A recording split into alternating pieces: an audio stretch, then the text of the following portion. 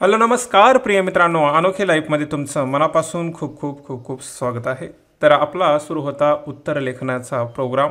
त्याच्यामध्ये दिवस एकवीस बावीस तेवीस चोवीस या दिवशी जे तुम्हाला प्रश्न दिले होते त्या प्रश्नाचं सॅम्पल उत्तर आता आपल्याला पाहायचं आहे ओके पाहण्याच्या अगोदर पहा की आपली जी बॅच आहे मराठी साहित्याची है ना पेड बॅच ती बॅच सुरू झालेली आहे चोवीस जुलैपासून. त्याच्यामुळं जर कुणाला आणखी माहीत नसेल तर तुम्ही जॉईन करू शकता. ठीक आहे?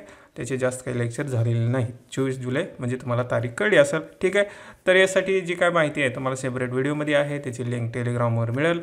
त्याच प्रमाणे याची पी डी एफ जी दिसते ना तुम्हाला हे आत्तापासून जेवढे आपण लेक्चर केलं एफ डब्ल्यूची ती सुद्धा तुम्हाला अनोखी लाईव्ह टेलिग्राम चॅनलच्या पी डी एफवर सॉरी हे तिथंच पी डी एफ तुम्हाला पाहायला मिळेल. ओके तर करूया सुरुवात मग. आता जो आपला शेवटचा राहिलेला भाग आहे म्हणजे हा शेवटचाच लेक्चर आहे. या सीझनचं तर कोणते प्रश्न दिले होते तुम्हाला? भाषेचे स्वरूप आणि कार्य याच्यावर एक प्रश्न दिला होता. प्रशासनातील सभ्यता याच्यावर एक दिला होता. साहित्य समीक्षा आणि केस स्टडी ठीक आहे? तुम्ही लिहिलात का? ओके लिहिला असाल. ठीक आहे तर सुरुवात करूया. प्रश्न काय होता? एकवीसवा मग. भाषा मानवी जीवनाचा अविभाज्य घटक आहे. स्पष्ट करा. पहा जेव्हा भाषेचे स्वरूप आणि कार्य याच्यावर तुम्ही प्रश्न पाहिलात तर सुरुवातीची जी हेडलाईन आहे भाषेचे स्वरूप व कार्य याच्यावरच भरपूर प्रश्न येतात. भाषा म्हणजे काय? तर निसर्गदात्य आहे का प्रयत्नसाध्य आहे? भाषा विचार वगैरे व्यक्त करण्याचा असं तसं आहे? असं बरेच प्रश्न विचारतात त्याच्यामध्ये म्हणजे याच्यामध्ये तुम्ही कितीही पुस्तक वाचलं तर नाही फरक पडत. तुम्हाला विचार करावा लागेल की ते कसं कॉम्बिनेशन आहे किंवा ती भाषा कशी काम करते. त्याच्यानुसार तुम्ही उत्तर लिहू शकता. तसंच हा एक प्रश्न आहे पहा. भाषा मानवी जीवनाचा काय आहे? अविभाज्य घटक आहे. तो घटक कसा आहे हे तुम्हाला स्पष्ट करायचे पंधरा मार्कासाठी आणि दोनशे पन्नास शब्दामध्ये. ठीक आहे? तर सगळ्यात पहिली गोष्ट काय असते पहा की जे त्याच्यामध्ये शब्द आहेत किंवा असं म्हणा की जे विचारलं आहे त्याची तुम्ही व्याख्या द्या. किंवा तुम्ही असं करू शकता काही संकल्पना सांगा किंवा एखादं थॉट वगैरे करू शकता. परंतु इथं साधी साधी तुम्ही त्याची परिभाषा करा. काय म्हणता येतं मग आपल्याला? मानवी मुखावाटे उच्चारलेले दोन्ही ज्याचा मूळ आशयाशी कार्यकरण संबंध नसलेल्या दोन्ही संकेतांनी बनलेली समाज व्यवहाराला साहिभूत अशी भाषा एक पद्धत आहे. ओके तर पहिल्यासोर आपण भाषा म्हणजे काय ते सांगितलं आहे. काय आहे? मानवी मुखावाटे विचारलेले ध्वनी ज्याचा मूळ आशयाशी कार्यकारण संबंध नाही. आणि ते कसं बनलेले आहे? दोन्ही संकेतांनी बनलेली आणि समाज व्यवहाराला सहाय्यभूत करणारी. आपण तोंडावाटे उच्चारल्यानंतर त्याचा काय मूळ अर्थ आहे ते माहीत नाही. परंतु तरी पण ते समाज आपल्यासाठी कार्य करतं व्यवहारामध्ये कार्य करतं. अशी एक जी पद्धत आहे त्याला आपण काय म्हणतो? भाषा असं म्हणतो. त्याच्यानंतर आपण विचारलं काय? हे नेहमी लक्षात ठेवायचं. विचारलंय काय? अविभाज्य घटक आहे. मग तुम्हाला सांगावं लागेल की कशा प्रकारे आता अविभाज्य म्हणजे काय? की ज्याच्याशिवाय आपलं भागतच नाही. आहे ना? मानवी जीवन हे सामाजिक देवाणघेवाशिवाय अशक्य आहे.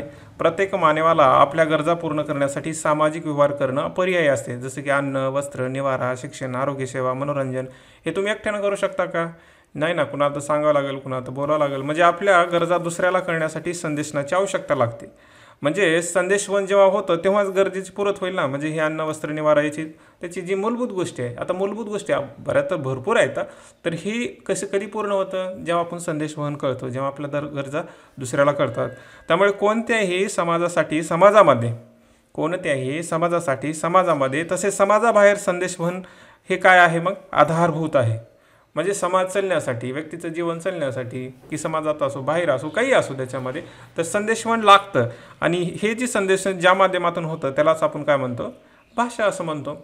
भाषा आपली मराठी इंग्लिश हे वेगवेगळे असते परंतु भाषा भाषा आहे ना सगळेच संदेशवन करतात. आपण त्याला फक्त भिन्न नावं दिलेले आहेत. त्यांच्या लिपी वगैरे सगळ्या गोष्टीमुळे. ठीक आहे तर पहिल्यामध्ये आपण सांगितले की काय गरज आहे कशा प्रकारे ते कार्य करतं. ठीक आहे पुढं जायचं आता. पुढं काय म्हणता येतं आणखी? पहिल्याच आता इथं काय सांगितलं आपण की ज्या माध्यमातून जे आपण व्यक्त करतो त्याला संदेशन करतो त्याला आपण भाषा म्हणतो. ठीक आहे? आता हे संदेशवन असे शब्द खूप महत्त्वाचे ठरतात. जेव्हा तुम्ही उत्तर लिहिता किंवा चेक करता जो व्यक्ती चेक करतो तर त्याला कळतं हां याने मेन पॉईंटवर फोकस करत आहेत. त्याच्यानंतर जगामध्ये भाषाहीन ही संकल्पनाच विचारहीन आहे. हा पण महत्त्वाचा पॉईंट आहे. पहा तुम्ही विचार करा की जगामध्ये भाषेशिवाय जग नाही अशी संकल्पना आहे का? थॉट नाही ना. मानवाला आपले आचार विचार इच्छा आशा अपेक्षा आकांक्षा भावना व्यक्त करण्यासाठी भाषेशिवाय पर्याय नाही. एखादा जो म्हणजे ज्याला बोलता येत नाही पा मुखबधीर आपण म्हणतो त्याला भावना व्यक्त करण्यासाठी किती अवघड होतं असं म्हणजे त्याच्या भावना कशा समजणार तुम्हाला? त्याच्या इच्छा अपेक्षा विचार म्हणजे भाषा किती महत्त्वाची ठरते? मानव हा जसा पाण्याशिवाय जगू शकत नाही तसा भाषेशिवाय विकसित होऊ शकत नाही. भाषा त्याच्या स्वातंत्र्याचे अभिव्यक्तीचे अस्मितेचे प्रतीक आहे. भाषा ही त्याच्या आकारहीन स्वप्नाला आकार देते अव्यक्ताला व्यक्त करते कल्पनेला पंख देते. अशा गोष्टीमुळे त्यामुळे भाषा प्रत्येक मानवाच्या अस्तित्वाचा आधार आहे. पा मानवी जीवन जगत असताना ज्या ज्या गोष्टी करतो आपण आता पहिले स्वरूप पहा की गरजेपुरतं बोललं पहिल्या पॅराग्राफमध्ये. दुसऱ्यामध्ये आपण पुढे गेलो आपण त्याच्या इच्छा अपेक्षा आकांक्षा त्याची अभिव्यक्ती त्याचं स्वप्न या सगळ्या गोष्टीसाठी सुद्धा काय लागते? भाषा लागते. तर भाषा कसं आहे? मानवी अस्तित्वाचा आधार आहे. पुढं काय? भाषा ही प्रभावी माध्यम आहे. प्रभावी म्हणजे भाषा आज आहे का? नाही ना. खूप काळापासून आहे. त्यामुळे प्रत्येक काळानुरूप काळानुर काळानुरूप कार्य करते. प्रत्येक काळाची गरज भागवते. जगातील प्रत्येक क्षेत्रामध्ये भाषा हीच केंद्रभूत आहे. जगामध्ये कुठलंही क्षेत्र असू द्या विदाऊट आपण म्हणतो ना लँग्वेज म्हणजे भाषेशिवाय शक्य आहे का? कुठलं बी क्षेत्र घ्या. विज्ञानाचा शोध असतील तंत्रज्ञानाची प्रगती असेल किंवा आजच्या कृत्रिम बुद्धीची दिशा असेल हे भाषेशिवाय शक्य आहे का? शक्य नाही ना. म्हणजे काय आहे की तुम्ही विज्ञानात गेला कुठेही जा. भाषा मोस्ट आहे. म्हणजे ते शिशू चलतच नाही. नाही चलत त्याच्यामध्ये. मानवी मनाचे भावनाचे भाव जागृत करणारे त्यात रस भरणारे साहित्य असेल. पहा आपण काय काय इथे गेलं? म्हणजे विज्ञान असो तंत्रज्ञान असो किंवा आजची ए आयची पद्धत असो किंवा मानवी मन असो किंवा साहित्य असो. या सगळ्याशिवाय म्हणजे या सगळ्याचं जे अस्तित्व आहे भाषेशिवाय नाहीच. म्हणजे उदाहरणार्थ तुम्ही म्हटलं तर साहित्य आहे का? भाषा आहे तर साहित्य आहे.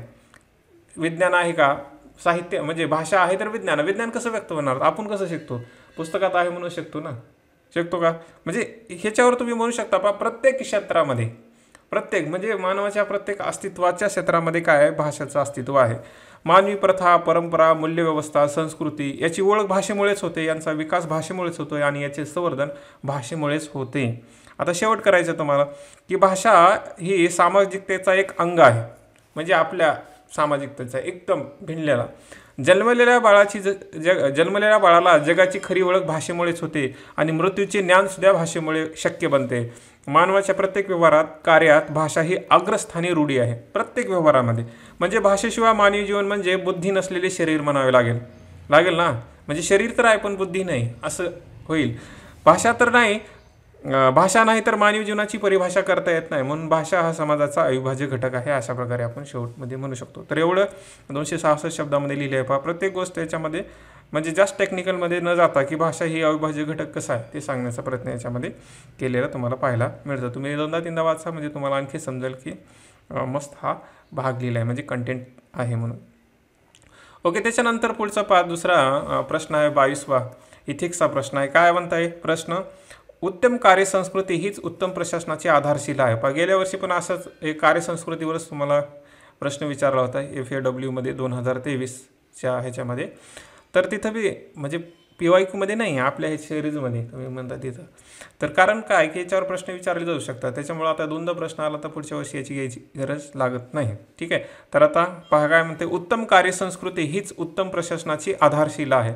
दहा गुणाला एकशे पन्नास शब्दामध्ये. म्हणजे वर्क कल्चर जर चांगला असेल तर सगळं काही चांगलं असतं. किंवा आधारशी आधारभूत आहे. कार्यसंस्कृती म्हणजे एखाद्या संस्थेतील तिच्या कर्मचाऱ्यामध्ये प्रथा मूल्य सामायिक विषयांचा विश्वासांचा संच होय. खरं आहे ना पहा. म्हणजे कार्यसंस्कृती कसं असते? ते वेळेवर कधी जाणार कोणती गोष्ट केव्हा करणार आहे ना कोणतं फंक्शन वगैरे वगैरे जे काही सगळ्या गोष्टी असतात त्याला आपण काय म्हणतो? तिथलं वर्क कल्चर आहे. उदाहरणार्थ वेळेचे बंधन अधिकारी किंवा कर्मचारी यांच्यातील संवाद बॉस एम्प्लॉय त्याच्यानंतर तिथं काय काय सुद्धा. म्हणजे या सगळ्या गोष्टीला आपण काय म्हणतो तिथलं वर्क कल्चर त्याच्यानंतर पुढं प्रश्न काय विचारला की ही काय आहे? उत्तम प्रशासनाची आधारशिला आहे. प्रशासनामध्ये कर्मचारी एक एकमेकाशी कशा प्रकारे संवाद साधतात आणि प्रशासनाचे कार्य कसे चालते हे कार्यसंस्कृतीवरच ठरते. म्हणजे तिथं नेमकं काम कसं केलं जातं हे कशावर ठरतं? एक लोक एकमेकाशी कसे संवाद साधतात? तिथले कार्य कशा प्रकारे होते? त्याच्यावरच हे सगळं काही होतं. कोणत्या संस्थेमध्ये वरिष्ठ अधिकाऱ्याचे वर्तन हे कार्य संस्कृतीची आधारशीलता असते? कोणते बी असो पहा. कोणत्याही संस्थेमध्ये वरिष्ठ अधिकाऱ्याचे वर्तन हे कसं असतं? मोठा बॉस जर वेळेवर येत असेल तर बाकीचे बी वेळेवर येतील ना? ठीक आहे. म्हणजे एखादं प्रोजेक्ट करायचा आहे आणि त्या प्रोजेक्टमध्ये जर हा बॉस जास्त इन्वॉल्व्ह होत असेल तर दुसऱ्याला पण होवंच लागेल ना? तर तसे कारण कोणत्याही संस्थेची आचारसंहिता नीतीसंहिता तेव्हाच प्रत्यक्षात दिसते जेव्हा वरिष्ठ अधिकारी त्याचे निष्ठापूर्वक पालन करतात आणि त्याचबरोबर आपल्या सहकाऱ्यांना तसे करण्यास प्रोत्साहित करतात. तेव्हाच काय होतं तिथलं वर्क कल्चर जे काही त्यांनी ठरवलं आहे त्याप्रमाणे चालतं. म्हणजे वर्क कल्चर कशावर डिपेंड आहे? बऱ्याच दृष्टिकोनातून जो वरचा आहे ना? हे तर घर आहे. जसं की उदाहरणामध्ये आपल्या कुटुंबामध्ये जर जो करता धरता आहे आपले वडील म्हणा है ना? त्याच्या सगळ्या गोष्टीला मान द्यावं लागतं. त्यांनी जे म्हटले तसं करावंच लागतं. तेच कल्चर होतं ना घरामध्ये. वागणं बोलणं खाणं तसंच असतं पहा. जो वरिष्ठ आहे त्याचं जे वागणं आहे तर नीतीपूर्वक सगळं काय असेल तर इतरांना बी तसं वागावंच लागतं. त्याच्यानंतर पा प्रशासनात अधिकारी सतत जबाबदारीने उत्तरदायित्व घेऊन पक्षपात न करता पारदर्शकरित्या कार्य करतात. प्रशासनात अधिकारी म्हणजे प्रशासनामध्ये जर अधिकारी जे प्रशासन आहे ना त्याच्यामध्ये अधिकारी जर जबाबदारीने उत्तरदायित्व घेऊन पक्षपात न करता पारदर्शकरित्या मी इथं सगळे पॉईंट घेण्याचा प्रयत्न केला आहे तेव्हा त्याचे अनुकरण इतर बी करतात ना. पा एखादा वरिष्ठ जो अधिकारी आहे तो आपली जबाबदारी समजतो पक्षपात नाही करत पारदर्शक कार्य करतो तर त्याच्या जे कनिष्ठ आहेत त्याच्या हाताखाली जे काम करतात त्यांना पण हे करावंच लागतं ना. म्हणून आपण काय म्हटलं तेव्हा त्यांचे अनुकरण प्रशासनातील कर्मचारी करतात. तसेच बेकायदेशीरपणाला कठोर शिक्षा पण उत्तम कार्याला सत्कार यामुळे कर्मचारी आपल्या कार्याविषयी नेहमीच जागरूक राहतात. त्यामुळे सेवाचे वितरण आणि अंमलबजावणी नागरिकांपर्यंत सहज पोहोचते.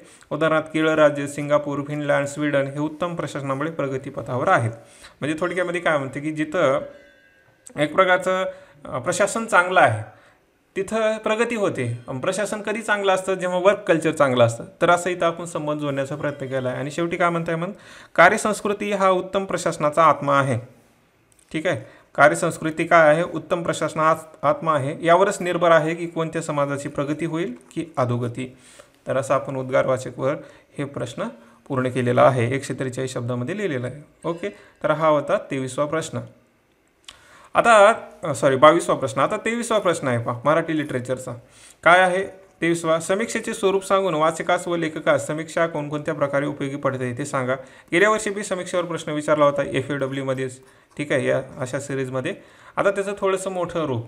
म्हणजे आता हे समीक्षेचं गेल्या वर्षी कार्य विचारलं होतं आणि लेखकास कसे उपयोगी पडते असं लेखका वाचकास विचारलं होतं. आता थोडंसं आणखी थोडं त्याचं स्वरूप सांगा आणि त्याचे कसं कसं प्रकारे उभे करतं दोघाला पण वाचकाला लेखाला असा प्रश्न विचारला. म्हणजे ह्या स्वरूप आणि कार्याविषयी हा टॉपिक म्हणजे इथं ऑनलाईन बी कंप्लीट होतो. ओके प्रश्नाच्या माध्यमातून जर विचार केला तर. ठीक आहे? तर आता काय प्रश्न आला? इथं स्वरूप सांगा आणि वाचकास आणि लेखकास कशी उपयोगी पडते ते सांगा हा प्रश्न विचारला तर पहिल्या स्वरूप तुम्ही या पॉईंटवर आता इथं तीन प्रश्न आहेत. तिन्हीला तुम्हाला डिवाईड करावं लागेल. ठीक आहे? त्याच्यानुसार तुम्हाला उत्तर लिहायचं काय म्हणता येतं पहा सिंहावलोकन समावलोचन पुनरावलोकन परीक्षण भाष्य टीका अशा वेगवेगळ्या नावाने संबोधली जाणारी समीक्षा ही साहित्याचा एक महत्त्वपूर्ण अंग आहे. इथं व्याख्या दिली नाही कारण आपला पुढे बी करता येते म्हणून. एक आपण महत्त्वपूर्ण सांगितले की समीक्षा काय आहे तर अशा अशा प्रकारचे याला भिन्न भिन्न नावं आहेत. त्याच्यानंतर समीक्षेचे स्वरूप अशी हेडलाईन द्यायची. पहा तीन प्रश्न आले की जसतशी आहे तस तशी हेडलिंग हेड हेडलाईन द्यायची. समीक्षेचे स्वरूप काय आहे? साहित्यकृतीला सर्व बाजूने पाहणे सर्व अंगाने सम्यकपणे समदृष्टीने पाहणे किंवा त्याचे यथार्थ दर्शन घेणे याला काय म्हणतात? समीक्षा असं म्हणतात. एखादी साहित्यकृती आहे त्याला सगळ्या बाग बाजूनं पाहणं जसं आहे तसं पाहणं त्याला काय म्हटलं जातं? समीक्षा असं म्हटलं जातं. आता स्वरूप सांगायचे परंतु आपल्याला जास्त सांगता येत नाही. कारण त्याच्यामध्ये तीन उपप्रश्न आहेत ना. एक स्वरूप आहे वाचकास आणि लेखकास. तिन्ही भागाला आहे आणि त्याच्यानंतर मर्यादा आहे. त्याच्यामुळं जेवढं कमी सांगता येईल तेवढं सांगायचं परंतु सटीक सांगायचं. ठीक आहे? तर काय म्हणता येईल? समीक्षा हे साहित्याचे स्वरूप हेतू उद्देश प्रयोजन कार्य शोधण्याचा प्रयत्न करते. आपण पहिल्या सुरू काय सांगितलं? की समीक्षा म्हणजे काय? त्याच्यानंतर दुसऱ्या सुरू काय सांगितलं? की समीक्षा कार्य काय करते?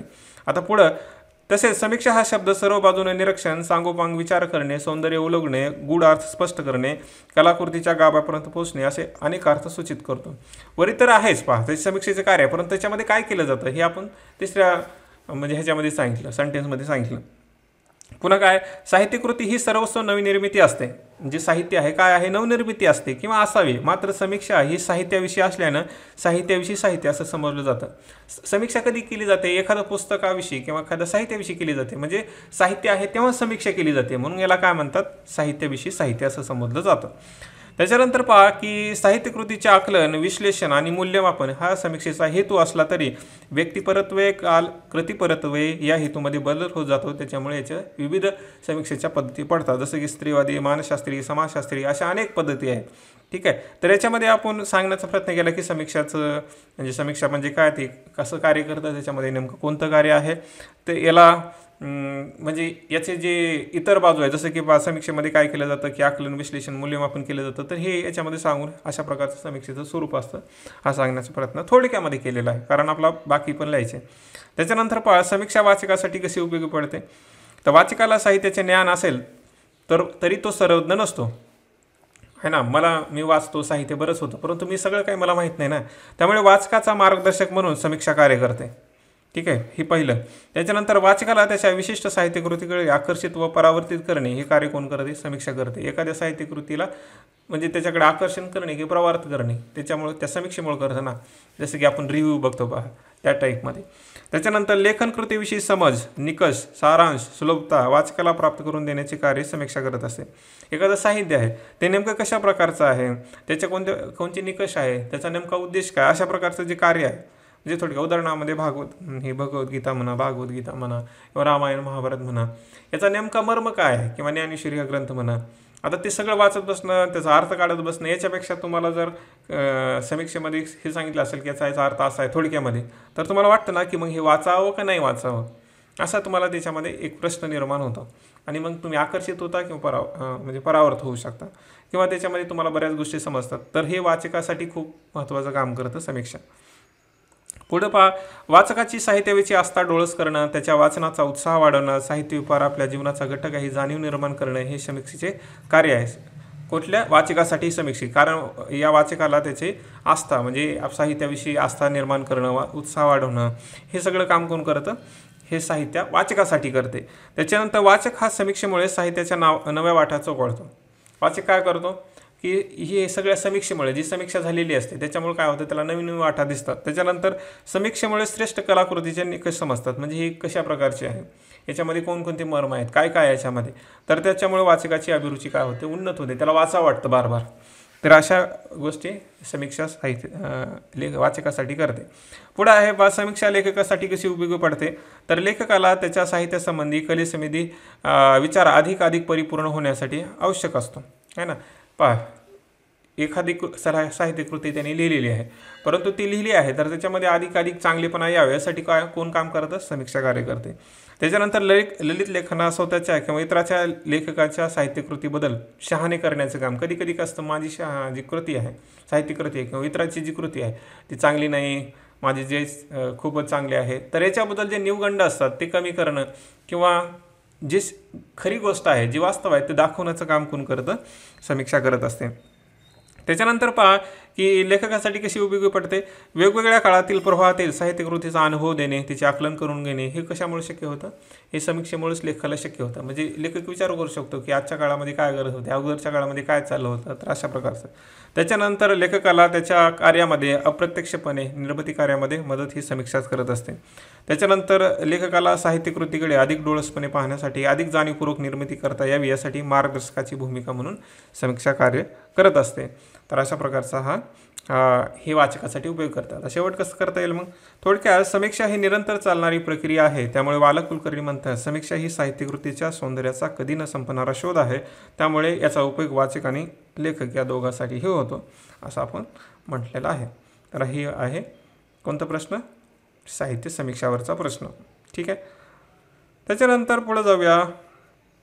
आहे तर तुम्हाला सांगितलं की चोवीस जुलैची बॅच सुरू झालेली आहे. ओके पुढं इथिक्सची केस स्टडी आहे पा त्या केस स्टडी तुम्हाला सोडवायची आहे. थोडीशी जास्त लिहिलेली आहे याच्यामध्ये म्हणजे जास्त नमूद केलेलं आहे. याचं तुम्ही कमी शब्दामध्ये करू शकता. तरी पण बघूया काय म्हणते केस स्टडी केस स्टडी वाचताना म्हणजे थोडंसं गंभीरपणे वाचायचं कारण बार बार वाचलं तुमचा वेळ जातो. त्याच्यामुळे एकदाच वाचला किंवा दोनदा जास्तीत जास्त. राजेश कुमार हे कोण आहेत? वरिष्ठ लोकसेवक आहेत. महत्त्वाचं आहे. ठीक आहे. प्रामाणिकपणा आणि स्पष्टपणाची प्रतिष्ठा असलेले सध्या अर्थ मंत्रालयात बजेट विभागाचे प्रमुख नियुक्त आहेत. ओके? तर मंत्रालयात काम करतात. दोन. त्यांचा विभाग सध्या राज्यांना अर्थसंकल्पीय सहाय्य आयोजित करण्यात व्यस्त आहे. त्यापैकी चार आर्थिक वर्षात निवडणुका होणार आहेत. निवडणुका पण महत्त्वाच्या ठरतात. ओके. ठीक आहे. त्याच्यानंतर या वर्षीच्या वार्षिक संकल्पनात अर्थसंकल्पना सामाजिक दुर्बल घटकासाठी केंद्र पुरस्कृत सामाजिक गृहनिर्माण योजना राष्ट्रीय गृहनिर्माण योजना एन एच एससाठी आठ हजार तीनशे कोटीची तरतूद करण्यात आली होती. जून परत एन एचसाठी सातशे पंच्याहत्तर कोटी रुपये काढण्यात आले आहेत. ठीक आहे. तर काय केले आहे की या वर्षामध्ये एक योजना काढण्यात त्यासाठी पैसे दिलेत आणि एवढे एवढे काढण्यात आलेले आहेत. हा पहिला मुद्दा. त्याच्यानंतर निर्यातीला चालना देण्यासाठी दक्षिणेकडील कशाला पहा? निर्यातीला. निर्यातीला चालना देण्यासाठी दक्षिणेकडील राज्यात विशेष आर्थिक क्षेत्र एस जड स्थापन करण्यासाठी वाणिज्य मंत्रालय दीर्घकाळापासून पाठपुरावा करत होतं म्हणजे काम करत होतं. केंद्र आणि राज्य यांच्या दोन वर्षाच्या सविस्तर चर्चेनंतर केंद्र मंत्रिमंडळाने ऑगस्टमध्ये या प्रकल्पाला मंजुरी दिलेली आहे. म्हणजे कशासाठी? निर्यातीचा व्यापार करण्यासाठी निर्यातीला वाढवण्यासाठी. त्यासाठी आवश्यक जमीन संपादित करण्याची प्रक्रिया सुरू करण्यात आली. म्हणजे हे ठरलेलं आहे आणि आता जमीन संपादन करण्याची प्रक्रिया सुरू झालेली आहे. त्याच्यानंतर अठरा महिन्यापूर्वी सार्वजनिक क्षेत्रातील आघाडीच्या युनिटने प्रादेशिक ग्रॅस गीडसाठी उत्तरेकडील राज्यात एक मोठा नैसर्गिक वायू प्रकल्प उभा कर उभारण्याची गरज व्यक्त केली होती. गॅस ग्रीड हा राष्ट्रीय ऊर्जा सुरक्षा धोरणाचा एक आवश्यक घटक आहे. ही काय आहे? राष्ट्रीय ऊर्जा सुरक्षा. जागतिक बोलीच्या तीन फेऱ्यानंतर हा प्रकल्प M N C M S X Y Z hydrocarbons car कार्बन्सला देण्यात आला. म्हणजे हा घेतला त्याने. एम एन सीला देयकाचा पहिला टप्पा डिसेंबरमध्ये केला जाणार आहे. म्हणजे एम एन सीला हा प्रो प्रोजेक्ट करायचा आहे तर पैसे द्यावे लागतील. तर तो देयकाचा जो हा पहिला टप्पा आहे तो डिसेंबरमध्ये यायचा आहे. ठीक आहे म्हणजे ह्यांनी काय काय केले पहा आतापासून की हे कोण आहे? हा लोकसेवक आहे. आणि याच्यामध्ये मग निवडणुका होणार आहेत सध्याच्या काळामध्ये. त्याच्यानंतर हा जो एक स्कीम आहे एन एच एस आहे ना? राष्ट्रीय गृहनिर्माण योजना त्यासाठी पैसे दिलेले आहेत. त्याच्यानंतर दुसरं काय आहे की ही जी काही गॅस ग्रिडीसाठी आहे तर ते पण मंजूर झालेलं आणि त्याचा बी पहिला टप्पा द्यायचा आहे. अशा इतपस्तर गोष्टी झालेल्या आहेत. पैशाचा. त्याच्यानंतर वित्त मंत्र्याला या दोन विकास प्रकल्पासाठी अतिरिक्त सहा हजार कोटीची वेळेवर वाटप करण्यास सांगितले होते.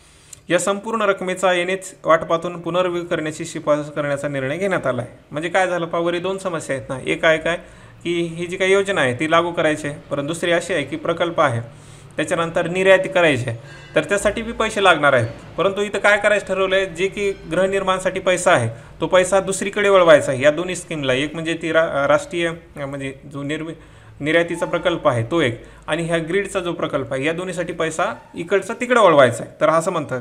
त्यांच्या टिप्पण्या आणि पुढील प्रक्रियेसाठी ही फाईल अर्थसंकल्प विभागाकडे पाठवण्यात आली. म्हणजे तुमच्याकडे केस म्हणजे या अधिकाऱ्याकडे केस फाईलचा अभ्यास केल्यावर राजेश कुमार यांच्या लक्षात आलं की पुनर्विनियोगामुळे एन एसच्या अंमलबजावणीत अवास्तव विलंब होऊ शकतो हे महत्त्वाचं आहे. जर आपण त्या रोजगार योजनेतला पैसा जर काढला तर ही जी योजना आहे ती लांब जाऊ शकते. हा प्रकल्प ज्येष्ठ राजकारणाच्या रॅलीमध्ये प्रसिद्ध केला जातो. ठीक आहे निवडणुकीमध्ये. त्या अनुषंगाने वित्तपुरवठा ना केल्याने एस सी झेडमध्ये आर्थिक नुकसान होईल आणि आंतरराष्ट्रीय प्रकल्पात देय देण्यास विलंब झाल्यामुळे राष्ट्रीय पेच निर्माण होईल. आणि दुसरीकडे काय गोष्ट आहे की हा जो दोन प्रकल्प झालेले आहे तिकडे जर पैसा नाही दिला तर एक राष्ट्रीय पेच निर्माण होणार आहे. पुढे काय? राजकुमार यांनी वरिष्ठांची चर्चा केली. तो राजकीयदृष्ट्या संवेदनशील असल्याने त्यावर तातडी तातडीने कार्यवाही होणे गरजेचं आहे. राजेश कुमार यांच्या लक्षात आले की इनकडून निधी वळवल्याने संसदेत सरकारसाठी कठीण प्रश्न निर्माण होऊ शकतात. या प्रकरणाच्या संदर्भात पुढील गोष्टीवर चर्चा करा. ओके तुम्हाला केस स्टडी समजली का? काय आहे? राजेश एक लोकसेवक आहे. तो अर्थ मंत्रालयामध्ये काम करतो. ठीक आहे? दुसरी गोष्ट काय आहे की सरकारने एक योजना लागू केलेली आहे त्याचं नाव आहे एन एच एस. त्यासाठी पैसा दिलेला आहे. काही पैसा काढण्यात आलेला आहे. ठीक आहे? आणि यावर्षी निवडणूक आहेत. हा एक मुद्दा आहे. पुढं आहे बा एक आहे निर्यातीसाठी एस ए झेड तयार करण्यात आलं आहे. त्याच्यानंतर राष्ट्रीय ग्रीन ऊर्जा प्रकल्प ते बी सुरू केले आहे आणि या दोन्हीसाठी पैशाची आवश्यकता आहे. काय? ही जे दोन प्रकल्प आहे त्यासाठी पैशाची आवश्यकता आहे. मग ही पैशाची आवश्यकता पूर्ण करण्यासाठी एन एच एसमधला पैसा काढायचा आहे आणि इकडे द्यायचा आहे. आता इथं प्रश्न बरेच निर्माण होतात. कारण इथं जर आपण पैसा नाही दिला तर राष्ट्रीय पेच निर्माण होऊ शकतो. एन एच एसचा पैसा काढला तर ती एन एस सीची जी योजना आहे ती लांबली जाऊ शकते. तर आता हा हे जे काय आहे हे ठरवायचं आहे या राजेशला. म्हणजे हा जो अधिकारी आहे त्याला. परंतु इथं आणखी त्यांनी कंडिशन सांगितलं की निवडणुका आहेत आणि संसदेमध्ये जर ह्या सगळ्या गोष्टी व्यवस्थित नाही झाल्या तर त्याच्याविषयी विरोधक वगैरे होऊ शकतात. तर या बी कंडिशन तुम्हाला लक्षात ठेवायच्या आहेत. तर प्रश्न काय विचारले त्यांनी? कल्याणकारी प्रकल्पातून विकासात्मक प्रकल्पासाठी निधीच्या पुनर्विनियोगामध्ये सामील असलेल्या नैतिक समस्या. म्हणजे जेव्हा तुम्ही या राष्ट्रीय गृहनिर्माण योजनेमधला पैसा दुसरीकडे टाकता तेव्हा कुठल्या नैतिक समस्या निर्माण होतात? त्यांनी अशा प्रकारचा प्रश्न म्हणजे आपल्या भाषेमध्ये. त्याच्यानंतर सार्वजनिक निधीचा योग्य वापराची गरज लक्षात घेता पर्यावर चर्चा करा. म्हणजे हा जो निधी आहे हा जो फंड आहे याचा वापर कसा करावा? म्हणजे वरच्या गोष्टीच्या दुसनुसार विचार करा असं म्हणतं. योग्य वापराची गरज लक्षात घेता त्या पर्यावर चर्चा करा. ओके असा प्रश्न आहे. आता इथं मी जास्त जरा तुम्हाला याच्यामध्ये डिटेलमध्ये सांगितलेलं आहे. तुम्ही याला अर्ध्या ह्याच्यामध्ये मोडू शकता. म्हणजे जे जवळपास चारशे दहा शब्द आहेत. आय थिंक चारशेच्या आसपास शब्द आहेत. आपल्याला याचे तीनशे शब्दामध्ये. तुम्ही शंभर शब्द काटछाट करू शकता. तर पहिल्या सुरू कुठलीही केस स्टडी लिहित असताना इंट्रोडक्शन करायचं म्हणजे करायचं. ठीक आहे? भले ती दोन ओळीत का असना. राष्ट्रीय गृहनिर्माण योजना ही वंचित समाजासाठी आवश्यकता आहे. आहे ना?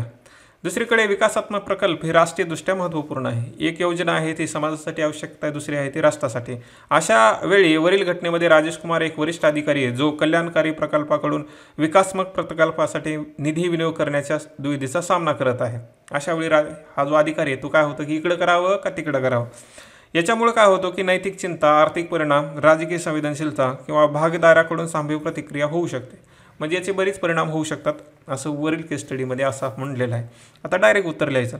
काय विचारला पहिला प्रश्न? नैतिक समस्या. कोणकोणत्या आहेत? सामाजिक न्याय. पहिली समस्या आहे पण सामाजिक न्याय.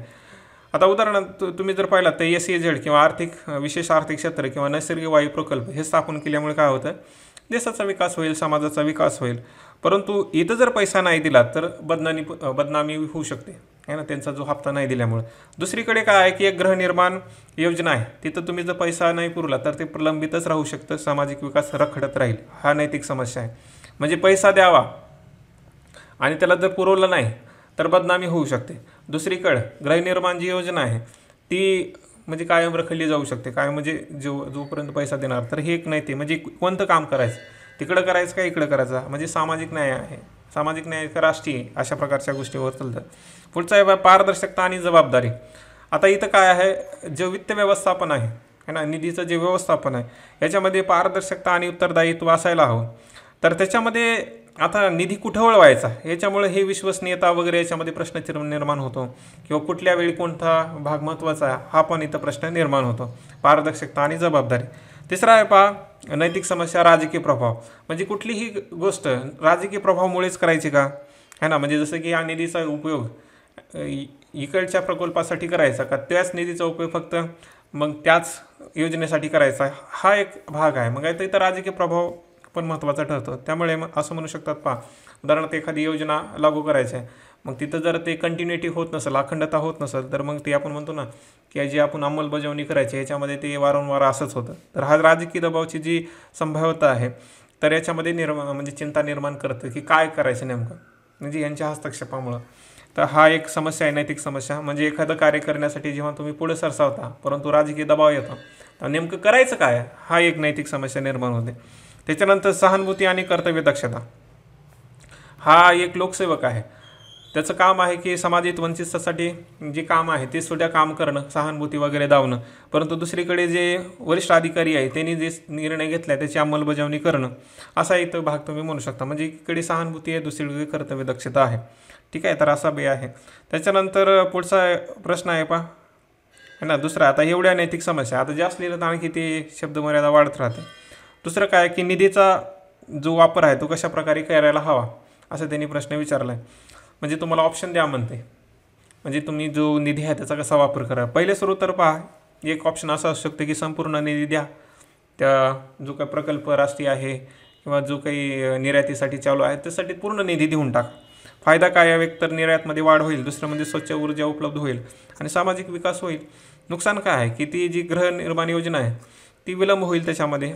आणि मे बी तुम्ही समाजासाठी कार्य करत नाही म्हणून संसदेमध्ये हंगामा होऊ शकतो. धडाम धडाम. आणि खुर्च्या तोडू शकतात ते. दुसरा काय पाक तुम्ही नाकारून द्या. नगमुना. म्हणजे तुमचे जो प्रस्ताव आलेला आहे की इकडला निधी तिकडे द्यायचा आहे तो ते पूर्णपणे नकारा. फायदा काय होऊ शकतो? समाज अन्याय होण्यापासून बचाव होऊ शकतो. समाजामध्ये जे का वंचित लोकांना फायदा होतो फायदा होईल. त्याच्यानंतर लोकवादी मागण्या पूर्ण होतील आणि संसदेमध्ये ते येणार नाही. नुकसान काय होईल? हा जो प्रकल्प आहे ना हे एस सी झेडमध्ये जो इतकी वर्ष झालं काम करण्यामध्ये केंद्र आणि राज्यानं काम केलेलं आहे त्याच्यामध्ये आणखी पुन्हा पेश निर्माण होईल. पुन्हा गॅस ग्रीडचा जो प्रकल्प आहे तिथं जो देयक दिल्या नसल्यामुळे बऱ्याच गोष्टी निर्माण होतील किंवा येणाऱ्या काळामध्ये जी ऊर्जा उपलब्धता आहे किंवा रोजगार निर्मिती याच्यावर परिणाम पडेल हे त्याचे नुकसान आहे.